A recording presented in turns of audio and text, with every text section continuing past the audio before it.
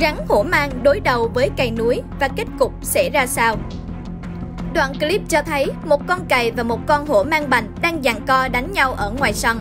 Con hổ mang bành rất là hung hăng muốn quyết chiến với con cày một pha đầy máu lửa. Hổ mang rất hung hăng và bành cái cổ ra rất to để dọa con cày. Khi rắn hổ mang càng dọa thì con cày càng tiến tới con hổ mang. Hổ mang đã mổ rất nhiều lần nhưng lần nào cũng trượt. Đến lúc hổ mang đuối sức đánh không lại được con cày nên đành lùi bước dần dần rồi chọn một trong 36 kế. Chạy là con đường thoát sống của nó, con rắn càng chạy thì con cày càng đuổi theo. Người ta hay có câu hổ báo cáo trồn, chứ làm gì đã có câu hổ báo cáo rắn bao giờ đâu nhỉ?